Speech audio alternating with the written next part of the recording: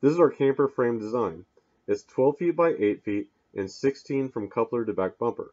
The main rails, front and back cross members, and tongue A-frame are made out of 3 by 2 by 316 tubing.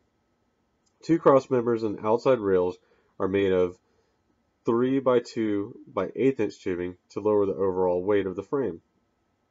I wanted to have the cross members on 16 inch centers so for the remaining cross members I used 2 by 2 by 8 inch tubing. This frame design may be a little overkill but I wanted to have something that would be sturdy and something that I would not have to worry about breaking down as I go down the road.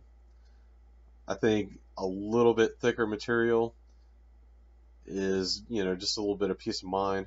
It may cost a little bit more in gas money, but at the end of the day, I don't have to worry as I'm going down the road that, you know, the frame might break or uh, that, you know, put too much weight on the frame itself. And there's kind of one other reason that I went with the 316 wall tubing for the main rails of the frame. I'm not going to get into that right now. I'm going to save that for later videos. Um, just because I, I want to get, you know, want to get the frame built and out of the way. I've been wanting to make this video for a long time. Uh, camper's just been something that I've really wanted to build. Built a lot of trailers and stuff like that in the past, but I didn't want to make the video really detail oriented. So everything is just kind of a sped up time lapse of you know me building the basic part of the frame.